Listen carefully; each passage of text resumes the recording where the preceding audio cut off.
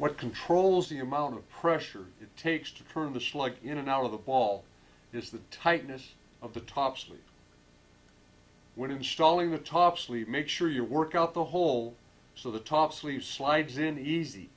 If you shove it in a tight hole, it will compress, making the sleeve tight on the slug.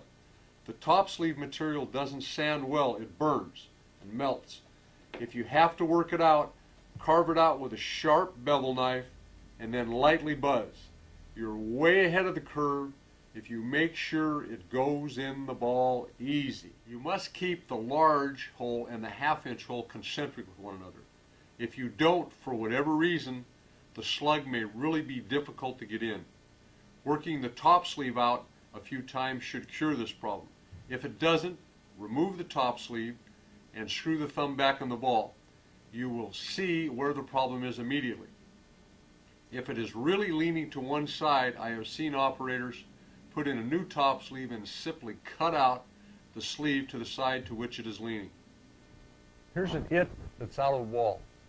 This product is molded without any sort of mold release. These two white pieces of plastic fit together perfect. What I have here is two totally dry pieces of plastic rubbing together.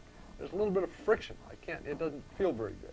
I, I, want, I want you to do a favor for me. I want you to find one in your inventory that fits like this, and I want you to try something. Brad Angelo came up with this one. He took a little nose oil and wiped it on the thread, just a little nose oil and wipe it on the thread. This thing that I had in my hand a second ago that, that would turn restrictively, now it's just turning perfectly. Do this, you'll be amazed. I, had a, I shared this with a shop operator. He called me back and said, I sprayed it with WD-40. It works great. Don't use WD-40. WD-40 attacks plastic. Nose oil will do it. My point is, if you just take this thing and rub it with your fingers and get a little something on it, uh, they're going to engage just fine.